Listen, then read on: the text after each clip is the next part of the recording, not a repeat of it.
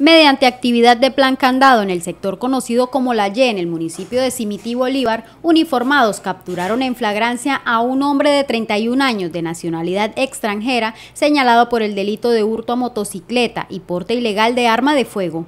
Según reporte policial, el sujeto minutos antes habría cometido un hurto a una motocicleta en el corregimiento de Sinaí, jurisdicción del municipio de Simití, el cual al momento de su vida fue interceptado y capturado por integrantes de la Policía Nacional.